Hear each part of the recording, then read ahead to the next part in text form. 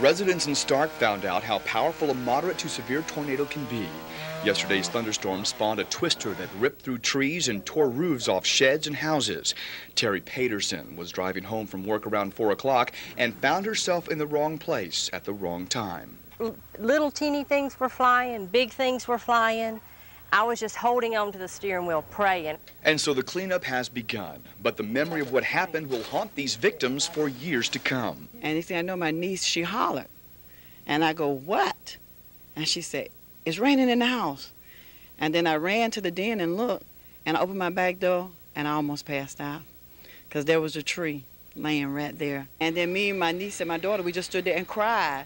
Down the road, Raymond Massey was home with his family. He witnessed the calamity from start to finish. From the sprinkle to the big hail, we picked it up in the front yard, showed my son, nice little hailstorm, no problem. Next thing I know, everything is just like this, missing. Yeah. And we're we're still picking stuff up out from the yard. What was going through your mind? My children. And like others, it'll take the Masseys months to repair the damage. Overall, their house remained intact, with most of the damage to the exterior. But their next door neighbors, Mr. and Mrs. Schaefer, were not so fortunate. In fact, they have nowhere to sleep tonight. In Starke, I'm Eric Reinholt, TV 20 News.